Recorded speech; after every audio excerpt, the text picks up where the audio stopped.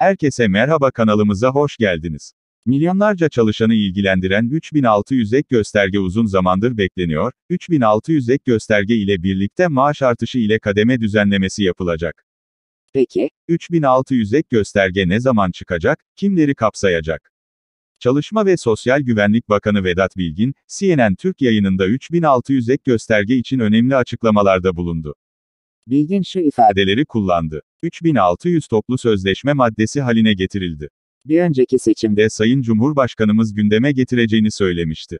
Artık söylem olmaktan çıkardık. Geri dönüşü yok artık. Kanun hükmündedir. Bakanlık içinde çalışmalarımızı yaptık. Esas düzenlemeyi 3600 ek gösterge emekliliklerinde yapıyor. Yıllar içinde daha da artan farklılaşma var. Bakanlık içinde çalışma tamamlandı bitti. Sendikalarımızla müzakere edeceğiz. Kamunun diğer kuruluşlarıyla onlarla müzakere edeceğiz. meclise ilk 6 6 ay içinde en geç Mayıs-Haziran'da intikal ettiririz. bu yıl içinde Tamamlanacak. 3600 ek göstergeden yararlanacak ve bunların maaşında 884 liralık artış olacak, dedi. Otomatik intibak, düzenlemesiyle tüm diğer emeklilerin de bu artıştan faydalanacağını söyledi. Yorumlar sizin sonraki videolarda görüşmek dileğiyle hoşçakalın.